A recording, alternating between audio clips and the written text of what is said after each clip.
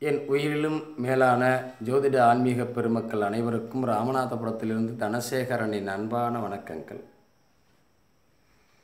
இன்னைக்கு நம்ம நிறைய ராசிகளை பற்றிய ஒரு பதிவுகளை தொடர்ச்சியாக பார்த்துட்ருக்கோம். விருச்சிகம் கும்பம். இந்த ராசிகளுடைய தன்மைகள் என்ன? இந்த ராசிகள் செய்யக்கூடிய விஷயங்கள் என்ன அப்படிங்கிறத கொஞ்சம் மேலோட்டமாக பார்ப்போமே. இப்போது விருச்சிக ராசியை பற்றிய கேள்விகள் அது சம்பந்தமான பதில்கள் நிறைய கொடுத்துருக்கோம். இந்த விருச்சிக ராசி நண்பர்கள் கேட்கக்கூடிய கேள்விகள் அதிகமான கேள்விகள் இருக்குது சனிப்பெயர்ச்சிக்கு அப்புறம் நிறைய நல்லது நடக்குன்னு சொன்னீங்க. இதுவரை அதற்கான எந்த விதமான சிம்டன்ஸும் இல்லை நடக்கலை அப்படின்னு சொல்லுவாங்க. சனீஸ்வர பகவானை பற்றி உங்கள் எல்லாருக்குமே தெரியும். அவர் ஒரு மந்த கிரகம். படிப்படி படிப்படியாகத்தான் அவருடைய வாழ்க்கையினுடைய நம்முடைய செயல்பாடுகளை முன்னேற்றத்திற்கு கொண்டு வருவார். அவர் படிப்படியாக செல்லக்கூடிய வாய்ப்புகளை தான் தரும்.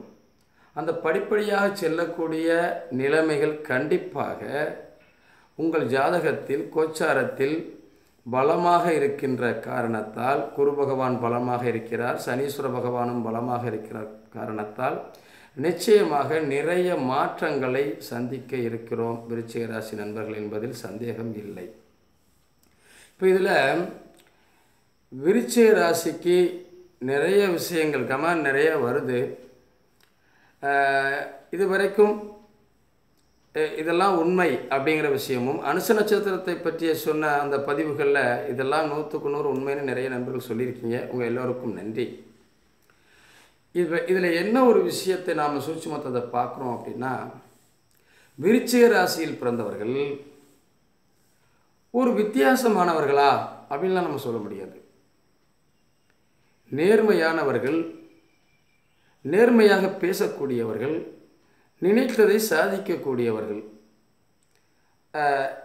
தன் காரியத்திற்காக இன்னொருவரிடம் போய் கை நீட்டுவது காலில் விழுவது போன்ற விஷயங்கள் அவர்களுக்கு அவர்கள் மனதளவில் பிடிப்பதில்லை. ஏன்னா செவ்வாய் வந்து அப்படிதான். நினைத்ததை சாதிக்கக்கூடிய வல்லமை படைத்தவர் யாரிடமும் போய் மண்டியிடுவதற்கு விரும்புவதில்லை. போலீஸ் துறை இராணுவத்துறையில் முக்கிய பங்கு அவங்களுக்கு உண்டு.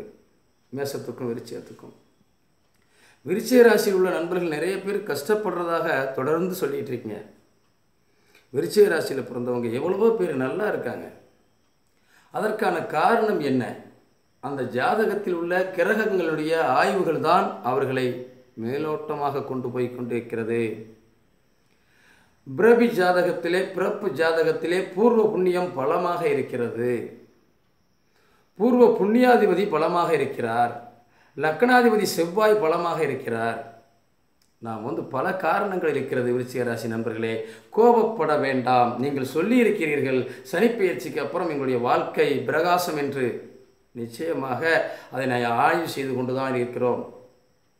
விருச்சிக ராசியில் பிறந்தவர்களுக்கு சிறப்பான எதிர்காலம் நிறைய பேருக்கு நடந்திருக்கு. நிறைய பேர் வீடு கட்டியிருக்காங்க இடம் வாங்கியிருக்காங்க தொழிலில் சிறந்த நிலைக்கு போயிருக்காங்க. மாற்றங்கள் ஏற்பட்டிருப்பதாக பல பேர் ஃபோன் பண்ணி சொல்லியிருக்காங்க. பல பேருக்கு மாற்றங்கள் இல்லை. அப்போ நான் இந்த கருத்தை சொல்லும்போது நீங்கள் இதுக்காண்டி இப்படி ஒரு கருத்தை சொல்கிறீங்களான்னு கோபப்படுறீங்க. நியாயமான கோபம் உங்களுக்கு உரிமை இருக்கிறது. என்னை பேசுவதற்கும் என் மீது கோபப்படுவதற்கும். ஏன்னா நீங்கள் தானே ஜோதிடர் நீங்கள் தானே சொன்னீங்க. அப்போ ஏன் இதில் இந்த ஃபால்ட் இருக்குன்னு நீங்கள் கேட்குறதுக்கு உரிமை இருக்குது நான் மறுக்கவில்லை. இந்த பூர்வ புண்ணியம் என்று சொல்லியிருக்கிறோம் அல்லவா? நமது தாத்தா காலத்தில் பண்ணிய புண்ணியம் நம்மை எவ்வளவு பெரிய கஷ்டத்தில் இருந்தாலும் தூக்கி நிறுத்துகிறது. திடீரென்று ஒருவன் பணக்காரன் ஆகிறான் திடீரென்று ஒருவன் ஏழையாகிறான். எவ்வளவு பெரிய பிரச்சனை வந்தாலும் சமாளிக்கக்கூடிய தத்துவத்தை அவன் பெறுகிறான். அங்கே லக்கணாதிபதி எந்த அளவிற்கு பலம் பெற்று சுப ஆதிபத்தியம் பெற்றிருக்கிறாரோ அந்த அளவுக்கு அவன் மேல் நோக்கி போகிறான். மேலோட்டமான வாழ்க்கையினுடைய வட்டத்தை பிடிக்கிறான். அந்த நிலையை பிடிப்பதற்கு நிறைய காரணங்கள் இருக்கிறது. விருச்சிக ராசி பிறந்தவர்கள் நேர்மையாகவும் நீதி தவறாமலும் பேசுவார்கள். அதனால் மற்றவர்களுக்கு அவருடைய கோபங்களும் அவர்கள் பேசக்கூடிய விதங்களும் பிடிக்காமல் போகலாம். ஆனால் நேர்மையானவர்கள் உண்மையானவர்கள் நேர்மை தவறாதவர்கள் இங்கே ஒரு விஷயத்தை நம்ம சொல்லணும். விருச்சிகத்துக்கு தனம் வாக்கு கல்வி குடும்பம் என்று சொல்லக்கூடிய இரண்டாம் இடம்தான் தனுசு. அப்போ இது சிறப்பாக இருக்க வேண்டும். இப்போ மூன்றாம் இடம் முயற்சி சாணத்துக்குரியவர் சனீஸ்வர பகவான் மூணிலே ஆட்சி பெற்றிருக்கிறார் என்று பலமுறை நான் சொல்லியிருக்கிறேன் விருச்சிகத்திற்கு. இரண்டாம் இடத்துடைய அதிபதி இரண்டிலேயே ஆட்சி பெற்றிருக்கிறார் குரு பகவான் என்றும் சொல்லியிருக்கிறேன். ஐந்தாம் இடத்துடைய அதிபதியும் அந்த குருதான் அங்கே ஆட்சி பெற்றிருக்கிறார் என்று சொல்லியிருக்கிறேன். நான்காம் இடத்துடைய அதிபதி சனீஸ்வர பகவான் தான் மூன்றில் ஆட்சி வருகிறார் என்று சொல்லியிருக்கிறோம். இதுதான் இதை வைத்து தான் விருச்சிகத்துக்கு சிறப்பான எதிர்காலம் என்று சொல்லியிருக்கிறோம். நிச்சயமாக நிறைய பேருக்கு நடந்து கொண்டிருக்கிறது. நல்ல விஷயங்கள் நடந்ததாக நிறைய பேர் ஃபோன் பண்ணி சொல்லியிருக்காங்க. நிறைய பேருக்கு கஷ்டங்கள் இருப்பதாகவும் மாறவில்லை என்றும் சொல்லியிருக்கிறீர்கள். அதை நான் மனதார ஏற்றுக்கொள்கின்றேன். தனது பிறப்பு ஜாதகத்தில் நிச்சயமாக லக்னாதிபதி பலமாக இருந்தால் நல்ல விளைவுகள் உங்களுக்கு வரும். லக்னாதிபதி பலம் பெற்றிருக்கிற போது தனக்கு வேண்டியதை இந்த நேரத்தில் சாதிச்சிடுறார். நம்ம சொல்கிறோம் ஒரு ஜாதகத்தில் நிறைய யோகங்கள் இருக்குது ஜோதிடர்கள் சொல்லியிருக்காங்க நீங்கள் ஒரு பெரிய லெவலுக்கு வர போகிறீங்கன்னு சொல்கிறாங்க ஆனால் எதுவுமே நடக்கலை. காரணம் ஜாதகத்தில் பித்திருக்கள் தோஷம். அதாவது வந்து சகட யோகம் சொல்லுவோம். நீங்கள் பார்த்துருப்பீங்க. வண்டி சக்கரம் மாதிரி வாழ்க்கை உருண்டுக்கிட்டே இருக்கும். இப்போ சந்திரனுக்கு பக்கத்தில் எந்த கிரகங்களும் இல்லாமல் சந்திரன் தனிச்சிருந்தால் அதுக்கு பேர் கேமத்துர யோகம்னு சொல்லுவோம். தருத்திர யோகம் யாரும் ஹெல்ப் பண்ண மாட்டாங்க உதவி பண்ண மாட்டாங்க. நான் வாழ்க்கையில் நானே போராடி மேலே வந்தேன். இதெல்லாம் கூட நடந்திருக்கிறது. இது மட்டுமா? இங்கே கும்பராசியை பற்றி நான் பேசினோம். இங்கே விருச்சியத்திற்கு நாலாம் இடத்தினுடைய அதிபதி தான் கும்பம் சனீஸ்வர பகவான். நாலு சுகசானம் என்று சொல்லக்கூடிய நான்காம் இடம் பலம் பெற்று இருந்தால் இங்கே இவர்களுக்கு வீடு வாசல் சொத்து சுகம்.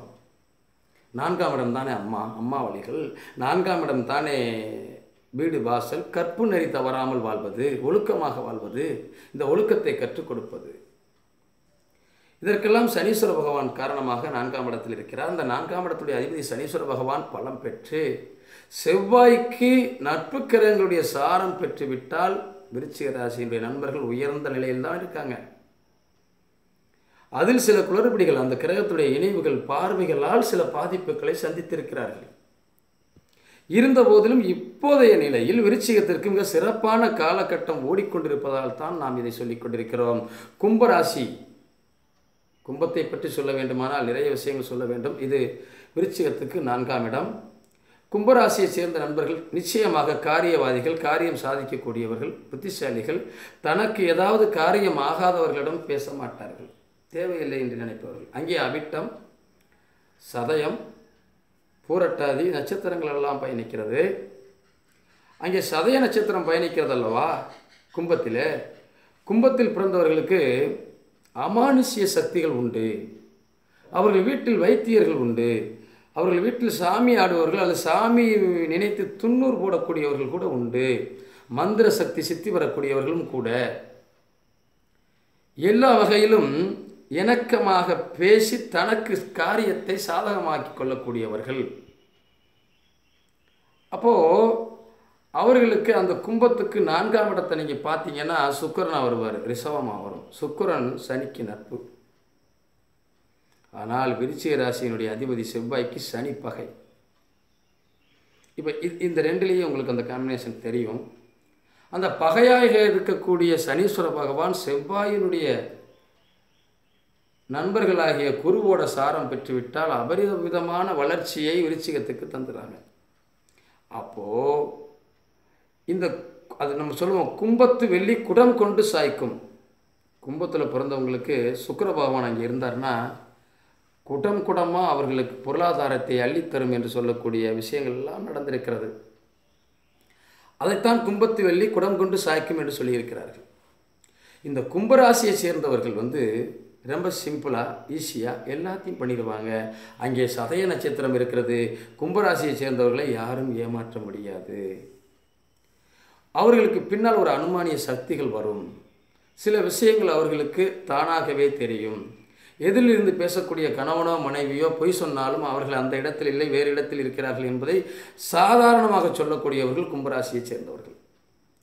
கும்பராசியை சேர்ந்தவர்களுடைய மனநிலைகள் ஏன்னா அங்கே அதனுடைய சின்னமே பாருங்கள் கும்பம். அங்கே தண்ணி இருக்கும் குடம் இருக்கும் ஒரு மங்களகரமான தேங்காய் இருக்கும். அங்கே பார்த்தீங்கன்னா மா இலை எல்லாமே வச்சு நீட்டாக பண்ணியிருப்பாங்க. அதுதான் கும்பராசி.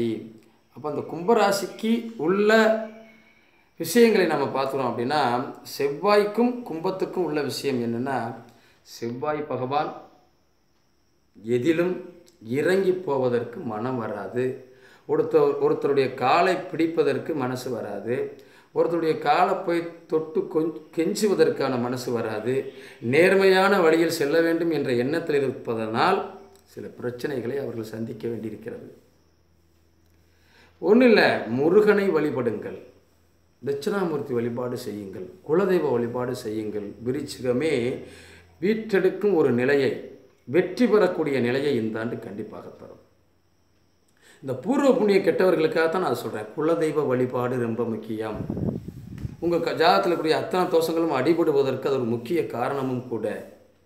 விருச்சிக ராசியில் பிறந்தவர்கள் வந்து அடிக்கடி குலதெய்வத்திற்கு அபிஷேகங்கள் பண்ணி பொங்கல் வைத்து வழிபாடு செய்து வந்தாலே நிறைய மாற்றங்களை வளர்ச்சிகளை தரும். ஜாதகத்தில் நிறைய தோஷங்கள் இருப்பதால் தான் கஷ்டப்படுகிறோமா? லக்னாதிபதி பலமில்லாமல் இருப்பதால் தான் கஷ்டப்படுகிறோமா? என்று நினைக்கக்கூடிய நண்பர்களை நான் கேட்டுக்கொள்வது குலதெய்வ வழிபாட்டை நிச்சயமாக செய்யுங்க இந்த ஆண்டு உங்களுக்கு சாதகமான நிலை நடந்து கொண்டிருக்கிறது. பெரிய லெவலுக்கு போயிடலாம். நீங்கள் நிறைய கமெண்ட் கொடுத்துருக்காங்க. விருச்சிக ராசி நான் கஷ்டப்படுறேன் ஒன்றும் மாறலை. நீங்கள் சொல்லியிருக்கீங்க. நிச்சயமாக மாறும். மந்தக்கரன் சனி பகவான் படிப்படியாகத்தான் மாற்றுவார். வாழ்க்கையில் மிகப்பெரிய வெற்றிப்படியை நீங்கள் சந்திக்க முடியும். கும்பராசி நேயர்களே இப்போது விரையச்சனி உங்களுக்கு நடந்துட்டுருக்கு. நல்லா தெரியும். கும்பராசி நேயர்களுக்கு விரையச்சனி நடக்கிறதுனால நீங்கள் எல்லாம் என்ன பண்ணுறீங்க அப்படின்னா வீடு கட்டுங்கள். வீட்டை கட்டினீங்கன்னா புதிய வீடுகள் நிச்சயமாக வெற்றி வரும் வீடு கட்டி ஒரு சிறப்பான இடத்த உங்களால் பிடிச்சிட முடியும். அதனால் நீங்கள் கும்பராசினியர்கள் எல்லாம் இப்போதைக்கு வீடு கட்டினீங்கன்னா சுமூகமாக சிறப்பாக முடிஞ்சிடும். உங்களால் சாதிக்க முடியாதது ஒன்றும் இல்லை. பதினொன்றில் குரு இருக்கார். ரெண்டாம் இடத்துடைய அதிபதி தனாதிபதி கும்பத்துக்கு பதினொன்றில் இருக்கார். அப்போது பத்தில் ஒரு விஷயம் என்ன அப்படின்னா பதினொன்றில் இருக்கக்கூடிய குரு பகவான் உங்களுக்கு நல்ல விஷயங்களை அள்ளித்தரப்போகக்கூடிய காலம். எதையும் ஈஸியாக செய்யக்கூடியவர்கள் அல்ல அத்தனை வரையும் எடை போட்டு பார்க்கக்கூடியவர்கள் கும்பராசியை சேர்ந்தவர்கள். உங்களுக்கு நான்காம் இடத்தினுடைய அதிபதி சுக்கர பகவான் நட்பு என்பதனால் சாதாரணமாக விசை வீட்டை கட்டி முடித்து விடலாம். ஒரு பேச்சு வழக்குகள் பனிரெண்டில் வரையும் இருப்பதனால தேவையற்ற வீண் விவாதங்களில் பங்கெடுக்காமல் இருந்தாலே போதும். இந்த கும்பத்துக்கும் விருச்சிகத்துக்கும் உள்ள வித்தியாசம் கும்பம் இறங்கி பணிந்து தனது கடமையை முடிக்கும். விருச்சிகம் நேர்மையாக பேசி நேர்மையாகவே காரியத்தை முடிக்கும். நெளியக்கூடிய இடத்தில் நெளியக்கூடிய வாய்ப்பையும் போகக்கூடிய சில இடங்களில் இறங்கி போகக்கூடிய இடத்தில் இறங்கி போகக்கூடிய வாய்ப்பையும் பாசாங்கமாக செய்து கும்பம் முடிக்கும். எதிலும் நேர்மை எதிலும் நியாயம் என்பதை பேசியே தான் தன் காரியத்தை விருச்சிகம் சாதிக்கும். இப்படி நம்ம நிறைய விஷயங்கள் இதில் இருக்குது அதனால் சனிப்பெயர்ச்சி குறுப்பெயர்ச்சியால் எங்களுக்கு எந்த பலனும் இன்னும் நடக்கவில்லை என்ற கவலை நமக்கு வேண்டியதில்லை. நமக்கு குறுப்பெயர்ச்சியும் சனிப்பெயர்ச்சியும் சாதகமாக இருக்கிற காரணத்தால் விருச்சிக ராசி நண்பர்களே கும்பராசி நண்பர்களே தாராளமாக குலதெய்வத்தையும் உங்களுடைய லக்னாதிபதியாக இருக்கக்கூடிய செவ்வாய்க்கு முருகப்பெருமானையும் தட்சிணாமூர்த்தி வழிபாடையும் கண்டிப்பாக மேற்கொள்ளுங்கள். நிச்சயமாக நாம் ஒரு வெற்றிப்படியை நோக்கி பயணம் செய்யப் போகிறோம் என்பதில் எல்லளவும் சந்தேகமில்லை. நிச்சயமாக பார்க்கலாம். வாழ்க்கையில் மிகப்பெரிய முன்னேற்றத்துடைய வளர்ச்சி மேலோங்கும் கவலையற்ற நிலை ஏற்படும். இதை நீங்கள் கொஞ்சம் பாருங்கள் அவசரப்படாதீங்க. செவ்வாய் பகவானுக்கு விருச்சிக ராசியை சேர்ந்தவர்களுக்கு நான் சொல்வது செவ்வாய் பகவானுக்கு செவ்வாய்க்கிழமை அதாவது முருகனுக்கு முருகன் கோவிலில் பால் பாக்கெட் ரெண்டு கிலோ துவரம்பருப்பு வாங்கி தானமாக கொடுத்துருங்க. கும்பராசி நேயர்கள் சனிக்கிழமை தோறும் கணேசருக்கு பச்சரிசி வெல்லம் கலந்து விநாயகர் கோவிலை சுற்றி போட்டு சூடம் ஏற்றுங்கள். அதே மாதிரி விருச்சிக ராசியும் கும்பராசியுமே ஆஞ்சநேயருக்கு வடை மாலையோ வெற்றிலை மாலையோ அல்லது வெண்ணையோ சாத்தி வழிபாடு செய்யுங்கள். வாழ்க்கையில் மிகப்பெரிய வளர்ச்சியை அடைய முடியும். நம் ஜாதகத்தில் எவ்வளவு கடுமையான பாதிப்புகள் இருந்தாலும் பித்திருக்கள் தோஷம் செவ்வாய் தோஷம் சர்ப்பதோஷம் போன்ற தோஷங்கள் இருந்தாலும் இதையெல்லாம் கட்டுக்குள் கொண்டு வந்து வாழ்க்கையில் மிகப்பெரிய ஒளியை ஏற்படுத்தக்கூடிய வாய்ப்பை கண்டிப்பாக தரும் என கூறி தொடர்ந்து எனக்கு ஆதரவு கொடுத்து கொண்டிருக்கக்கூடிய நண்பர்கள் அனைவருக்கும் ராமநாதபுரத்திலிருந்து தனசேகரின் அன்பான வணக்கத்தை மீண்டும் தெரிவித்து உங்கள் இல்லங்களில் எல்லாம் உங்கள் குடும்பங்கள் எல்லாம் மகிழ்ச்சியும் சந்தோஷமும் பெருகட்டும். உங்கள் குழந்தைகள் நன்றாக படிக்கட்டும். உங்கள் வாழ்க்கை சிறப்பாக அமையட்டும். இந்த நாள் முதல் யாருக்கெல்லாம் வாழ்க்கையில் இன்னும் மாறாமல் இருக்கிறதோ அவர்களுக்கெல்லாம் மிகப்பெரிய மாற்றத்தை அந்த இறைவன் அருளட்டும் என கேட்டு அன்போடு விடைபெறுகிறேன். மற்றும் ஒரு வீடியோவில் சந்திப்போம். வீடியோ பிடிச்சிருந்தா லைக் பண்ணுங்கள் கமெண்ட் பண்ணுங்கள் ஷேர் பண்ணுங்கள் கண்டிப்பாக சப்ஸ்கிரைப் பண்ணுங்கள் நன்றி நண்பர்களே நன்றி.